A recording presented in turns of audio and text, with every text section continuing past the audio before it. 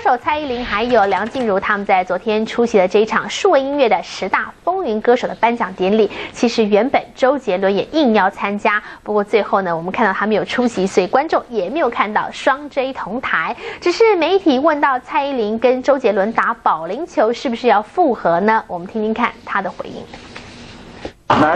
虽然歌手蔡依林现身是为了接受数位音乐风云榜十大歌手而来，但是原本也要参加颁奖典礼的周杰伦临时不来，大家更想要问蔡依林了。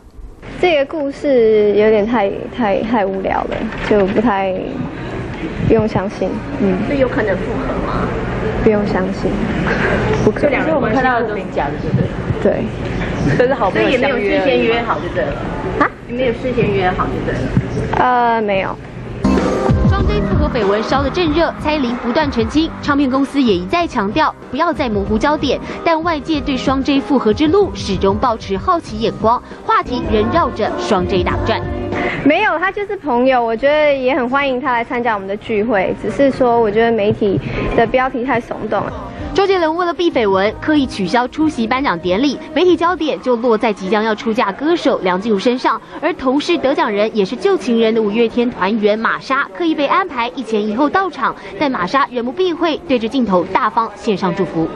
没有伤口这件事，没有伤口，谁说伤？谁说有伤口？对啊，我们是有撒也没有错啊。当天会不会上台？当天不知道，还不晓得他婚礼的那个安排，当天晚上是什么状况。那如果他希望大家都可以上台演出的话，我觉得当然是非常开心的事情。